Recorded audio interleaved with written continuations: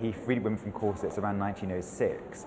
And at the time, it was, it was very radical because for almost since the Renaissance, women wore, uh, were buttressed in corsets. So the idea of presenting um, a natural body type was revolutionary in the early 20th century. And I think um, Denise Poiret, his wife, acted as a catalyst for this, for this expression.